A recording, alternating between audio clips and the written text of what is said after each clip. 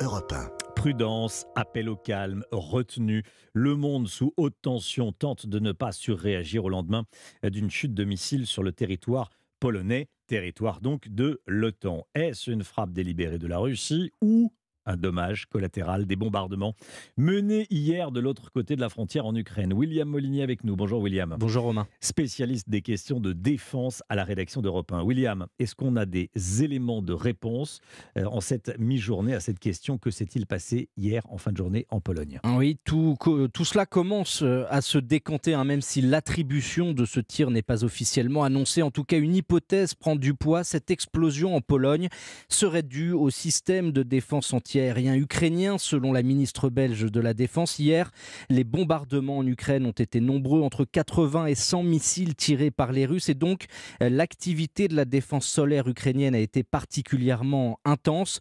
Euh, ces deux contre-missiles auraient été tirés depuis un système de défense solaire S-300 avant donc de retomber sur ce village polonais à seulement 6 km de la frontière ukrainienne. Sur place, le secteur est toujours bouclé. Seules les forces armées et de sécurité intérieure polonaises peuvent accéder au périmètre. Des analyses sont toujours en cours. Reste à savoir si Kiev va reconnaître ce qui ressemble de plus en plus donc à une erreur de guidage.